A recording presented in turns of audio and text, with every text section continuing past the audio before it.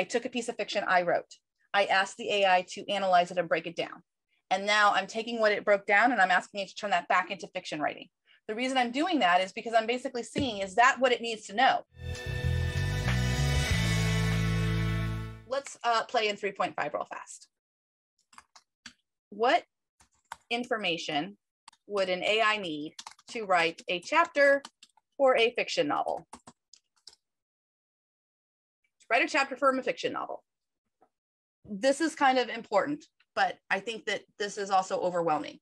So when we sit here and we look at this and we go, my goodness, it needs the plot summary, it needs the character descriptions, it needs the setting details, it needs the character purpose, cultural and world building details, and open endedness. Wow. Now, I don't know about you, but when I sit down to write a, to write a chapter, a lot of this is actually in my subconscious. I'm not actually identifying all of these individual components. This is what the crux of writing with AI is. How do we get the computing power that happens in our subconscious to happen with the AI? Now, the reason I'm sharing this with you is because if your beats are not performing the way you want them to, print out this list and check them against this list to identify the components that are missing. That's what I do with my beats. How about this? Can you rewrite that list so that it's truncated and give specific examples of prompting for each? See what we get. So this is we're reverse engineering and we're stuck we're stuck in the reverse part of it. It thinks it needs to pull this out of an existing piece of fiction work of like I've given it a chapter and then this prompt extracts the character description. Now that's not bad because you can use that methodology to start learning the vocabulary that the AI thinks about your own writing. I'm going to demo that real fast in case that didn't make sense to anybody. Let's say I don't know how to write beats for my own current writing because all of us have writing that we've done so far. So I've got this chapter one. Let's just grab tools word count. 853 words. Okay, so that's a little bit less. So I've got 853 words on my jump cut. So what I'm going to do is let's say I'm I'm finding with my beats that it's just not getting the characters, the character purpose right very well. Number four, it, it, it's kind of Mary Suing when it's writing, and I don't like the Mary Sue. I'm going to open up um, a new chat in a new window, and we're going to be using 3.5 for this. We can use four, but I'm just going to use 3.5 for just the illustration purposes. And I'm going to grab this prompt that it said, illustrate how the protagonist's doubts intensify as they face their first moral dilemmas, setting the stage for inner conflict. So I don't know how that's actually going to work with this. So read this piece of writing. So I have that, and I'm going to put stars. And I can put that other piece in there of the illustrate how the protagonist doubts.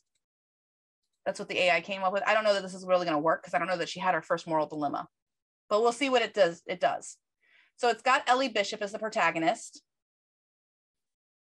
Um, you'll see that it's very good at analyzing and you can start to understand when you do this exercise, the whole purpose of this exercise is to start understanding how the AI understands writing in the sense of like when it reads a piece of fiction, what, what is it taking out of it? Because if you can understand what it's taking out of it, then you can understand how to write that in a way that it's going to um, it's going to be able to write what you want it to write. Does this make sense to everyone a little bit? So now what I'm going to do when it has this, I'm going to grab this stuff, this information right here. Okay. And I'm going to use yet another prompt, an, another, another window, 3.5. And I'm going to say, read this. Now, turn that all of the above into a piece of fiction writing with dialogue and characterization for an urban fantasy novel. So let me explain my methodology here. This was like the original research we did for kind of figuring out how we needed to, to write in a way, how we needed to communicate with the AI in order to get it to write what we wanted to write. I took a piece of fiction I wrote. I asked the AI to analyze it and break it down. And now I'm taking what it broke down and I'm asking it to turn that back into fiction writing. The reason I'm doing that is because I'm basically seeing is that what it needs to know? Because if it needs, how many of you would be able, if you just knew that this was the format it needed, you could just write these sets of instructions to give to the AI. Show of hands. So let's turn all that into a, a fiction novel. O M G.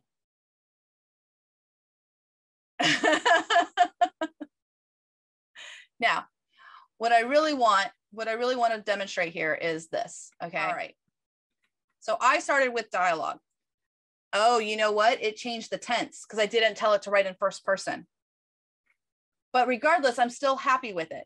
I poked my fork into the slice of key lime four leafed clover pie. The bright green center smushed between the tines to satisfy my sulking. Sebastian, my cousin, had planned this intervention right down to my order. A lucky slice of Des- Desmona's desserts lifted your spirit all day.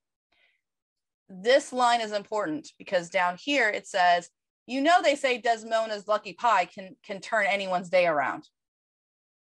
Isn't that incredible that it was able to pick up an a, a common element so you can start to understand how fiction writing gets translated into the narrative instructions and then from those narrative instructions ask it to write the fiction again and you will start to see some very common elements um, repeat themselves. And that's important because what we're after ultimately is that we can give it a set of narrative instructions and we get writing that closely matches our own right? But i'm hoping this can kind of show you guys this is how you can independently work on your beat writing with your existing writing. Take something you have written ask the AI to break it down in terms of like how, you know, with the beats and everything like this. In this particular thing, we focused on characterization. But whatever you wanted to do, dialogue or something like that, and understand the words that it's using. This is just one layer. So remember what we talked about. We talked about all those things that happen in the subconscious. We talked about how when we're writing, all of this stuff happens in our subconscious. We literally just did one component of that. So in a real perfect world, I would run this report on that piece of writing. I would want to find out the language that the AI says about my writing for each one of these components and then use that for kind of like part of my mega prompting or um, elements of my of my of my beats. The passage begins with Eli sitting with her cousin Sebastian at Desmona's desserts it has that, but it doesn't have any information about how to write this. And as a result, we got flat crap. If I grab this, I'm going to go with a new chat. I'm going to paste all that back in. And now we're going to start giving it the how. So now we're going to give it more commands. So we're going to say right here, and we're going to say write in first person point of view from Ellie Bishop's POV and she is sassy and um, this takes place in an imaginary magical community in rural South Texas. This book should sound like small town, uh, cozy mystery almost, or a contemporary fantasy novel more focus on magic and uh, the supernatural like it's just normal everyday things. Sebastian is suave, but he was an orphan raised by Ellie's parents. Okay. And, and so I'm giving you some more information and I'm, I'm going to say uh, the writing style should include interior monologue set off by asterisks and um, variation in sentence structure. Okay, let's see what we get. Let's see if we get something better than the original. oh man. I'm, I'm a basic bitch. okay, so the the instructions here never said anything about her fork. Does everyone see that? I have this sentence here. I poked my fork into the slice of key lime four leaf clover pie. The bright green center smushed between the tines to satisfy my sulking. And the AI wrote, I pushed my fork around the edges of the pie slice, the flaky crust crumbling beneath my touch. Yeah, this is only 3.5. So this I would say that this is way more on par with what my writing is. It's not exact, but it's a lot closer to the original. And all we did was add commands. That is um, what I'm hoping is what everyone takes away from this and wanted to walk through the theory so you guys could see like the first step is how many people are treating beats and they just say what happens in the story. It is night and day the writing quality you get out of 3.5 no less. If you just take the time to give it commands and instructions of how it has to write. Those are absolutely critical to writing beats. Thank you for joining us on something wickedly cool in AI. Um, this is what we do in our lab sessions. So the Future Fiction Academy is eight labs a week. You can come live, you can watch the replays after, you get the transcript, you also get the lab report.